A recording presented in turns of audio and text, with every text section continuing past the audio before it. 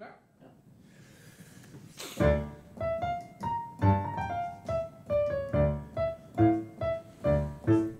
Verleden week bezocht ik voor de eerste maal mijn bovenbuur. Het had te maken met lekkage, daar ik meen of met de huur. Er hing een levensecht portretje van een cirkel aan de muur. En hij ontpopte zich als vreemde en ascetische figuur. Die zich in leven hield met brokjes en augurken in het zuur. Ik schrik me slecht, ik moet voor werk verrichten, sprak hij over stuur. Ik heb al jaren een obsessie en het geeft me rust nog duur. Dat ik verslaafd ben aan de cirkelkwadratuur.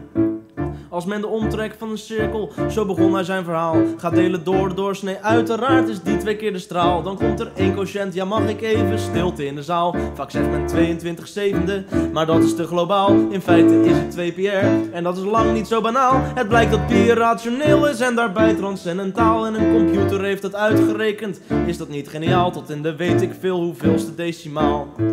Ja, deze pi dat staat te lezen in de encyclopedie. Is eeuwen oud en wetenschappelijk en Grieks en vol magie. Als ik zo pieker over pi, spreekt u wellicht van de manie. Maar zijn wij allen niet man of mystici? Een andere heeft een kolibrie, een reliquie of een fobie. Maar ik verdiep me onophoudelijk en zonder compromis. In dit unieke en verheven wonder der planimetrie. Ik zoek een antwoord op het grote raadsel pi na deze woorden onderbrak hij spastisch hijgend zijn gepraat. En er verscheen een onrustbarend kleurenspel op zijn gelaat. Dus ik begon al rond te kijken naar een zuurstofapparaat. Maar hij bedaarde en ervatte zijn verhandeling kordaat. Er is een andere formule, die is ook niet van de straat. De oppervlakte van een cirkel immers is pi r kwadraat. En om de waarde van die pi nu eens te zien in vol ornaat. Dat is wat mij als ideaal voor ogen staat.